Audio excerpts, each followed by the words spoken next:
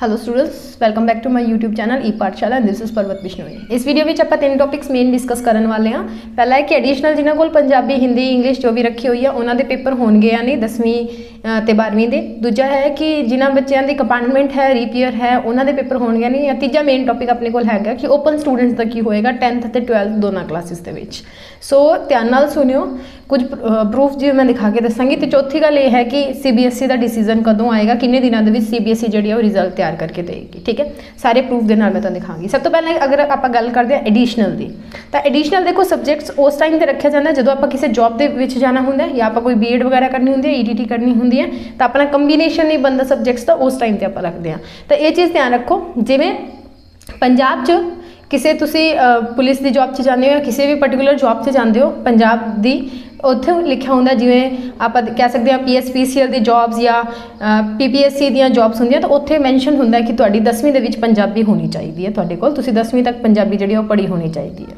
ਜਿਵੇਂ ਤੁਸੀਂ ਹਰਿਆਣਾ, ਰਾਜਸਥਾਨ 'ਚ ਜਾਓਗੇ, ਤਾਂ ਉੱਥੇ ਹਿੰਦੀ ਹੁੰਦੀ ਹੈ। ਤਾਂ ਮੇਨ ਮੋਟਿਵ ਹੁੰਦਾ ਉਸੇ ਲਈ ਆਪਣਾ ਐਡੀਸ਼ਨਲ ਸਬਜੈਕਟਸ ਰੱਖਣਾ ਜਾਂ ਅੱਗੇ ਕੰਬੀਨੇਸ਼ਨ ਬਣਾਉਣ ਲਈ, ਤਾਂ ਐਡੀਸ਼ਨਲ ਵਾਲਿਆਂ ਦਾ ਪੇਪਰ ਜਿਹੜਾ ਹੈ ਉਹ ਹੋਏਗਾ। ਅਜੇ ਤੱਕ ਨੋਟਿਸ ਇਹੀ ਹੈ ਕਿ ਐਡੀਸ਼ਨਲ ਵਾਲਿਆਂ ਦਾ ਪੇਪਰ ਜਦੋਂ ਹੀ ਹਾਲਾਤ ਸਹੀ ਹੋਣਗੇ ਕਰੋਨਾ ਕਮ ਹੋਏਗਾ ਐਡੀਸ਼ਨਲ ਵਾਲਿਆਂ ਦੇ ਬੱਚਿਆਂ ਦਾ ਪੇਪਰ ਹੋਏਗਾ, ਕਿਉਂਕਿ ਘੱਟ ਬੱਚੇ ਹੁੰਦੇ ਆ, ਪੇਪਰ ਕਰਾਉਣਾ ਈਜ਼ੀ ਹੁੰਦਾ ਪ੍ਰੀਕਾਸ਼ਨਸ ਰੱਖ ਸਕਦੇ ਆ। ਤਾਂ ਇਹ ਹੋ ਗਈ ਐਡੀਸ਼ਨਲ ਵਾਲਿਆਂ ਦੀ ਗੱਲ। ਦੂਜੇ ਰੀਪੇਅਰ ਤੇ ਕੰਪਾਰਟਮੈਂਟ ਵਾਲੇ ਹੈ। ਦੇਖੋ, ਜੇਕਰ ਰੀਪੇਅਰ ਤੇ ਕੰਪਾਰਟਮੈਂਟ ਦੀ ਗੱਲ ਕਰੀਏ ਤਾਂ ਉਹ ਡਿਪੈਂਡ ਕਰਦਾ ਹੈ ਕਿ ਰਿਜ਼ਲਟ ਕਈ ਵਾਰੀ ਆ ਵੀ ਜਾਂਦਾ ਤੇ ਕਈ ਵਾਰ ਨਹੀਂ ਵੀ ਆ ਜਾਂਦਾ। ਇਹ ਜਿਹੜਾ ਹੈ, ਇਹ ਮੁੱਦਾ ਸੀਬੀਐਸਈ ਲਈ ਵੀ ਚੱਕਿਆ ਗਿਆ ਤਾਂ ਦੇਖੋ ਸੀਬੀਐਸਈ ਲਈ ਕੀ ਜਿਹੜਾ ਹੈ, ਉਹ ਦੇਖਣ ਨੂੰ ਮਿਲਦਾ ਕਿ ਜਿਹੜਾ ਰਿਸਪੌਂਸ ਹੈ, ਉਹ ਕੋਰਟ ਦਾ ਆਪਾਂ ਨੂੰ ਦੇਖਣ ਨੂੰ ਮਿਲਦਾ ਉਹਨਾਂ ਨੇ ਵੀ ਰਿਪੀਟਰਸ ਤੇ ਜਿਹੜੇ ਰੀਪੀਅਰਸ ਵਾਲੇ ਹੈਗੇ ਆ, ਉਹਨਾਂ ਦੇ ਲਈ ਮੁੱਦਾ ਜਿਹੜਾ ਇਹ ਕੇਸ ਜਿਹੜਾ ਹੈ ਫਾਈਲ ਕੀਤਾ ਗਿਆ ਕੋਰਟ ਦੇ ਵਿੱਚ। ਤਾਂ ਦੇਖਦੇ ਹਾਂ ਵੇਟ ਕਰੋ, ਉਹਨੇ ਤੱਕ ਕਿ ਕੋਰਟ ਕੀ ਡਿਸੀਜਨ ਦਿੰਦਾ ਹੈ ਸੀਬੀਐਸਈ ਦੇ ਲਈ। ਤੇ ਸੀਬੀਐਸਈ ਦਾ ਜੋ ਆਏਗਾ, ਤਾਂ ਦੇਖਦੇ ਹਾਂ ਕਿ ਸਟੇਟਸ ਉਹਨੂੰ ਇੰਪਲੀਮੈਂਟ ਕਰਨਗੀਆਂ ਜਾਂ ਨਹੀਂ।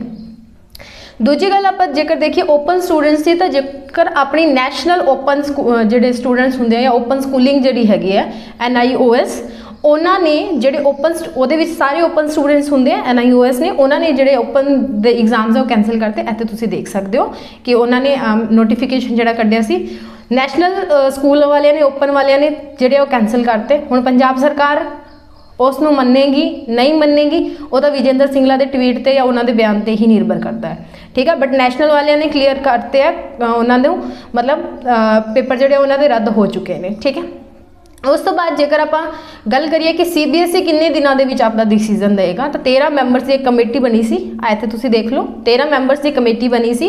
ਉਸ ਕਮੇਟੀ ਦੇ ਵਿੱਚ ਕਾਫੀ ਸਾਰੇ ਹਾਈ ਲੈਵਲ ਦੇ ਜਿਹੜੇ ਆਫੀਸਰਸ ਵਗੈਰਾ ਆਈਪੀਐਸ ਆਈਐਸ ਵਗੈਰਾ ਜਿਹੜੇ ਹੈਗੇ ਆਈਏਐਸ ਵੀ ਹੈਗੇ ਆ, ਕਾਫੀ ਸਾਰੇ, ਉਹਨਾਂ ਨੂੰ ਜਾਂ ਕਰੇ ਵੱਡੇ ਪ੍ਰੋਫੈਸਰਸ ਵਗੈਰਾ ਨੇ ਉਹਨਾਂ ਨੂੰ ਸ਼ਾਮਿਲ ਕੀਤਾ ਗਿਆ। ਤਾਂ ਉਹਨਾਂ ਨੇ ਕਿਹਾ ਕਿ 15 ਜੂਨ ਤੱਕ ਉਹ ਆਪਦੀ ਜਿਹੜੀ ਰਿਪੋਰਟ ਹੈ ਉਹ ਸ਼- ਕੋਰਟ ਨੂੰ ਦੇ ਦੇਣਗੇ, ਸੁਪਰੀਮ ਕੋਰਟ ਨੂੰ ਪੇਸ਼ ਕਰ ਦੇਣਗੇ ਕਿ ਕਿਸ ਬੇਸਿਸ ਦੇ ਉੱਪਰ 12ਵੀਂ ਦੇ ਬੱਚਿਆਂ ਦੀ ਡੀਐਮਸੀ ਜਿਹੜੀ ਉਹ ਤਿਆਰ ਕੀਤੀ ਜਾਏਗੀ।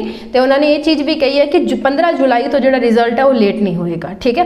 ਹੁਣ ਤੁਸੀਂ ਗੱਲ ਕਰੋ, ਜੇਕਰ ਐਡਮਿਸ਼ਨ ਦੀ ਤਾਂ ਜੇਕਰ ਆਪਾਂ ਗੱਲ ਕਰਦੇ ਹਾਂ ਪੰਜਾਬ ਯੂਨੀਵਰਸਿਟੀ ਦੀ, ਤਾਂ ਪੰਜਾਬ ਯੂਨੀਵਰਸਿਟੀ ਆ ਪਹਿਲਾਂ ਆਨਲਾਈਨ ਐਗਜ਼ਾਮਸ ਕਰਵਾਏਗੀ, ਉਸ ਤੋਂ ਬਾਅਦ ਅਗਸਤ ਦੇ ਵਿੱਚ ਜਿਹੜੀ ਉਹ ਦੁਬਾਰਾ ਓਪਨ ਹੋਏਗੀ ਨਿਊ ਐਡਮਿਸ਼ਨਸ ਦੇ ਲਈ, ਠੀਕ ਹੈ? ਤਾਂ ਤੁਸੀਂ ਆਰਾਮ ਨਾਲ ਜੁਲਾਈ ਦੇ ਵਿੱਚ ਤੁਹਾਡਾ ਰਿਜ਼ਲਟ ਆ ਜਾਂਦਾ ਤਾਂ ਐਂਡ ਆਫ ਜੁਲਾਈ ਦੇ ਵਿੱਚ ਜਾ ਕੇ ਤੁਸੀਂ ਕਾਲਜਸ ਦੇ ਵਿੱਚ ਅਪਲਾਈ ਕਰ ਸਕਦੇ ਹੋ। Punjab university Punjabi university G and U ਸਾਰੇ ਇਦਾਂ ਹੀ ਕਰਨਗੇ ਪੰਜਾਬ ਦੀਆਂ ਜਿਹੜੀਆਂ ਯੂਨੀਵਰਸਿਟੀਜ਼ ਨੇ ਪਹਿਲਾਂ ਆਨਲਾਈਨ ਪੇਪਰ ਹੋਣਗੇ ਜਿਹੜੇ ਇਸ ਸਮੈਸਟਰ ਦੇ ਬੱਚੇ ਆ, ਉਸ ਤੋਂ ਬਾਅਦ ਐਡਮਿਸ਼ਨ ਦਾ ਪ੍ਰੋਸੈਸ ਸਟਾਰਟ ਹੋ ਕੇ ਯੂਨੀਵਰਸਿਟੀ ਅਗਸਤ ਦੇ ਵਿੱਚ ਕਲਾਸਿਸ ਸਟਾਰਟ ਕਰੇਗੀ ਨਾਰਮਲੀ ਜਿਹੜੇ ਆ ਉਹ ਜੁਲਾਈ ਦੇ ਵਿੱਚ ਹੋ ਜਾਂਦੀ ਸੀ ਠੀਕ ਹੈ?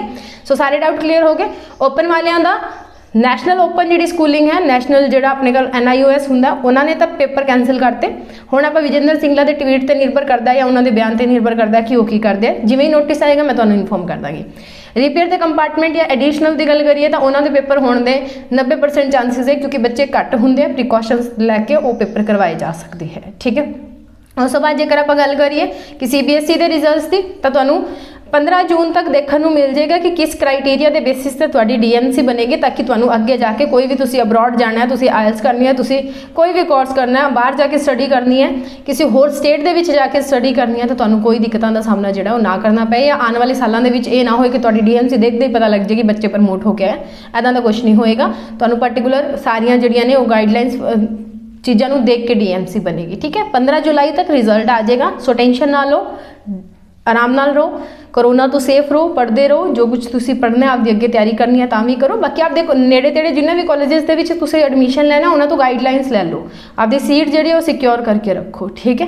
ਕਿਉਂਕਿ ਇੱਕਦਮ ਜਿਵੇਂ ਰਿਜ਼ਲਟ ਆਇਆ ਨਾ ਭੁਚਾਲ ਦੇ ਵਾਂਗੂ ਲੋਕ ਆਣਗੇ ਐਡਮਿਸ਼ਨਸ ਦੇ ਲਈ। ਤਾਂ ਤੁਸੀਂ ਆਪਦੀ ਸੀਟ ਸਿਕਿਉਰ ਕਰ ਲਓ। ਬਾਕੀ ਜਿਨ੍ਹਾਂ ਨੇ ਐਂਟਰੈਂਸ ਵਗੈਰਾ ਦੇਣੀ ਆ, ਤਾਂ ਯੂਨੀਵਰਸਿਟੀਜ਼ ਨੇ ਆਪਦੇ ਐਂਟਰੈਂਸ ਜਿਹੜੇ ਨੇ ਓਪਨ ਕੀਤੇ ਹੋਏ ਨੇ, ਤੁਸੀਂ ਉਹਨਾਂ ਦੇ ਟੈਸਟ ਦੇ ਸਕਦੇ ਹੋ। ਤੁਸੀਂ ਉਹ ਜੇਕਰ ਜਾਣਾ ਜਿਵੇਂ ਕੋਈ BSc agriculture BSc honours MSc ਕਿਧਰ ਵੀ ਜਾਣਾ ਚਾਹੁੰਦਾ ਹੈ ਠੀਕ ਹੈ ਐਮਐਸਸੀ ਤਾਂ ਬਾਅਦ ਚ ਆਏਗੀ।